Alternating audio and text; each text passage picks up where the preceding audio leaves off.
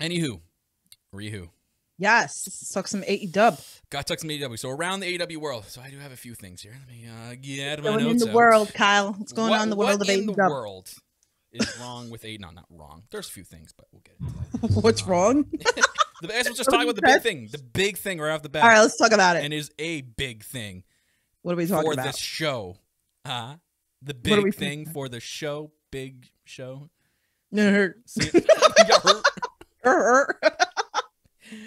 Paul Wight, aka or formerly known as Big Show, officially signs with All Elite Wrestling, and literally the most out of left field thing or signing, I guess, or to happen in in the wrestling world because no one saw this coming. This wasn't teased.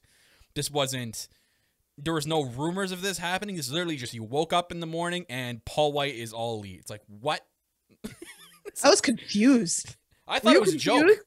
I thought someone was pulling a prank. Oh, you thought it was like somebody was just like putting his photo on the backdrop of it? Is like this one's all elite. So I didn't see the official AW post at first. I saw someone taking a pic the picture and putting it on their own Twitter post, right? And I'm like, oh, Right. what are people trying to do now? Like, leave Paul Wight alone.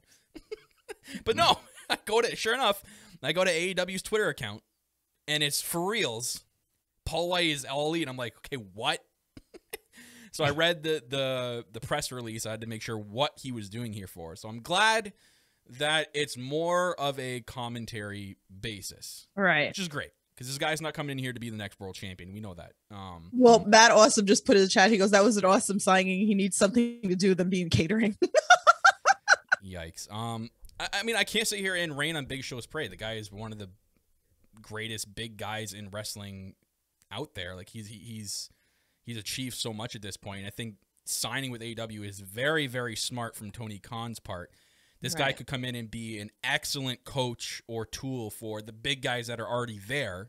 You Mhm. think about it, like Big Show's. If there's a big guy they can learn from, it's the Big Show, right? There's a He's- big guy.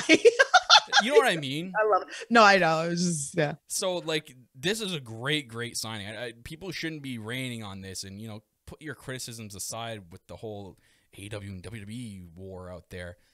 This is a great signing by AEW, not just because he'll wrestle maybe once or twice this year for a spot or two, because we know that's going to happen, but for the second part of the signing, which is a commentary role, which they kind of announced two things in one, which I'm I was weird out why the one got overshadowed by the other. So they brought they said there was going to be a commentary role for the new Monday show, AW Dark Elevation. I'm like, hey, wait, what? What's Elevation? why? Why? What?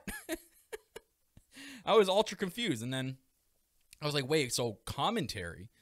How is he even going to work on commentary? I've never heard this guy sit on commentary before. Has any, has he been on commentary ever? like I, I don't, don't- know. I, I don't know I don't how know. good he is. Well, I would think that like even if you've never done it before, obviously you have knowledge to get behind commentary and do it. Mm-hmm. But I'm So- not opposed to because we AW smart. Like people's gotta gotta stop and pump the brakes a lot on on Big Show. Oh, he's gonna come in here and steal time from the town. No, he's not. Yeah. He'll come in here and have a spot or two in a match, which I think everyone is agreeing and, and waiting for because there was one person in particular on the AW roster that was the most excited because it was like he he he was freaking out and people were going nuts because they knew about it. And as Marko Stunt, Marko Stunt was losing his mind Right. when Big Show signed because he's always wanted to do and work with him.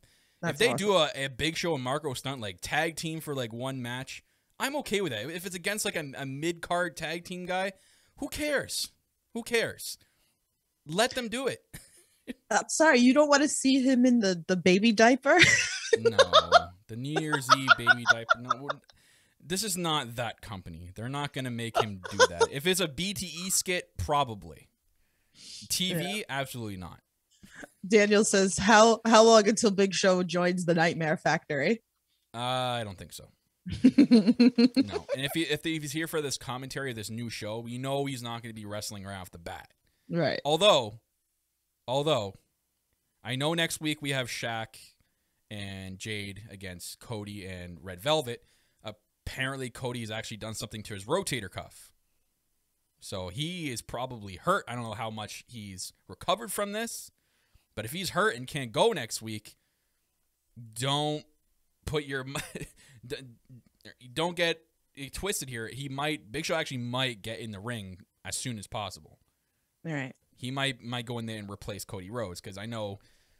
It, I remember when it, this was happening in WWE when Shaq and Big Show they were doing that big tease for WrestleMania with those. People were actually like genuinely excited for that. Like that was a thing. And then WWE just never pulled the trigger never did it. And people were were, were very upset because they wanted to see it.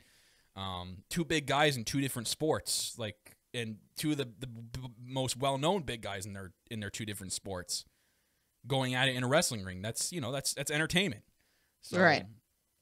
I, I don't know. I'm i was weirded out at first and then you know obviously when you when you, you start to look into it more you start to understand and everything. So i thought it was interesting but now he's going to be commentating with tony Schiavone of all people for this show. And we'll talk